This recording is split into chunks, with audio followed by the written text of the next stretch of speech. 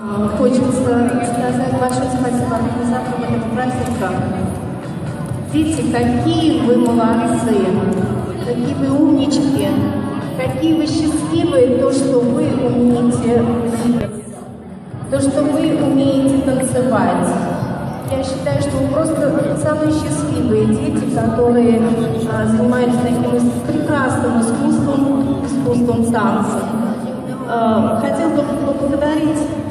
Родителей, которые жалеют своих сил, наверное, а, заставляют своих детей работать, потому что это, вот то, что мы сегодня увидали, это работа, настоящая работа, работа педагогов и работа самих